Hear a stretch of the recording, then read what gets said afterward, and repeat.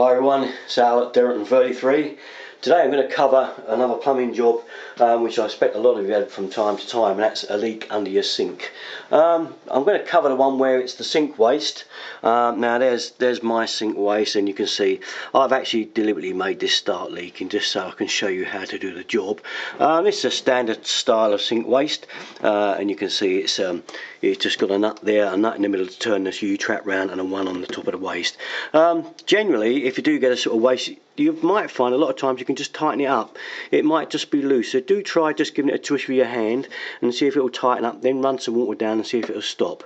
If that's not the case, then we'll take it off. Now, if it is a bit stiff, you might need a pair of these footprints if it is a bit stiff, just to crack the nut because a lot of plumbers do go a bit mad and tighten them a bit too far. So if, I'm assuming you've cracked it uh, and it will undo by hand. So just undo the the top nut and undo the back one.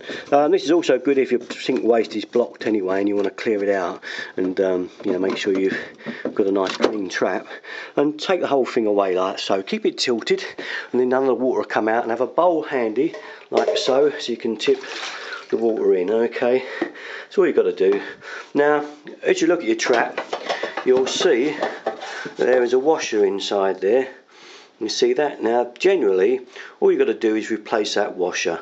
A lot of times that is the problem. Take the washer off, renew it, and put another one back on. There is also um, a washer on the back there on this nut. You can see it there. Um, and that again you can renew. Or there is another way which is just to put some PTFE um, around the front end of the pipe there. Wrap it right round tight and put it back on and do it up. Um, and that again will also do your waste for you. Um, now the other thing that can often leak is this part here. Um, this is a bit that screws right through. Um, and it's fairly easy to do again. You can buy the part in, in a whole piece if you want. It's very cheap. It's a sink waste. It's the part that screws through. It comes in a little packet. It's not very expensive. Um, and to undo that, literally, you just need a screwdriver there. Um, just undo that screw there. Okay the top will come off um, and just replace the whole part. Um, I think it's the best bet rather than messing about with a washer in there uh, and the one underneath. Um, I'm not going to take mine off because once you take these off um, I haven't got one to replace it with at the moment but if I do it probably leak if I try to fit that back you know without being renewed really once you've taken it out. Um, there is another way if you if you didn't have one spare and it was leaking from here um, you can take it out and just put some plumber's mate under there uh, and screw it back down. It will probably hold but so I'm not going to take that out today. Today I'm just showing you basically how to do the waste. Um, now there is another um, little washer in here that sometimes leaks as well uh, I think I've got that on the camera there. And that's this nut here. Um, again if we can undo this one and you'll see again that there is a washer in there as well. You can see it down there okay there's a washer in there and again you can renew that one. Uh, and while you're at it clean the trap out if it's any mucky like that. Give it a wash out because you've a good chance to clean it out. Replace that washer uh, and, and, put it back. Um, and basically once we get it back we should all be back in trim.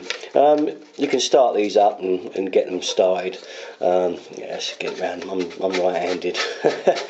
Uh, and we get it started back on. Uh, and once you've renewed those washers um, again know this one pops off I'll just show you there's the top washer there. And you see it there and it does just ping off. You can just take it away. There's a little groove in there for it as you can see. There's a groove there for the washer to sit um, so basically, I don't need a new one on this. It's quite modern, but you can get these from a plumbing shop. If yours has gone, and you can put it on there.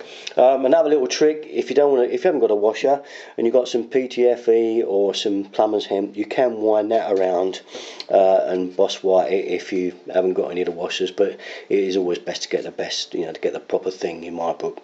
Okay, and other than that, now I'll just show you how to put it back.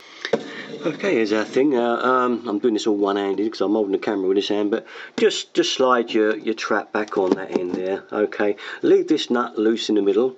Uh, you might have a double nutted trap but don't worry about it. Just leave them loose for now until you get this started and back in the right position. Get your trap back on there okay and get it started with your hand on there okay? Don't do it up too tight. These, these things are meant only to be hand tight really.